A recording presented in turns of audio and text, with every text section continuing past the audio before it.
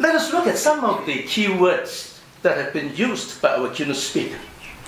Let me quote China, cultural and spiritual resources. Contribute. More humane model of development. Share. These and similar words and concepts have characterized much of his keynote speech. I think these words are very important. Cultural and spiritual resources.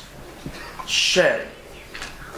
These words are important because, from my own limited understanding, very often when people continue to watch China grow, and very often with a deep sense of concern and great discomfort, the focus on China is mainly on China's expanding political, economic, and military might. And very seldom do they touch on mental, cultural, spiritual resources of China. So far, I have been to the Shanghai World Expo twice.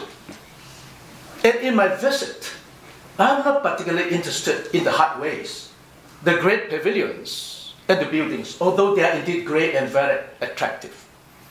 As a Chinese from overseas, I'm particularly interested in what the whole show has to convey to the world community, which is watching China very closely, maybe judging, evaluating in the end.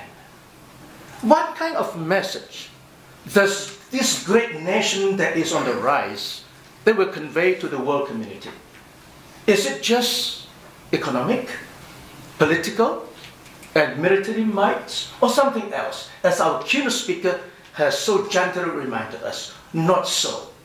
Perhaps equally important and far more important than all this may be what has, he has described as cultural and spiritual resources. The keynote address has also something very exciting to say about Matteo Ricci and Xu Guangqi, and the very cordial friendship and interaction between these two great men. Our speaker uses the friendship and interaction between Ricci and Xu Guangqi as a model for the present and future relationship between China and the rest of the world. I think the analogy is not only appropriate, but also very applicable and challenging for us today, for China as well as for the rest of the world.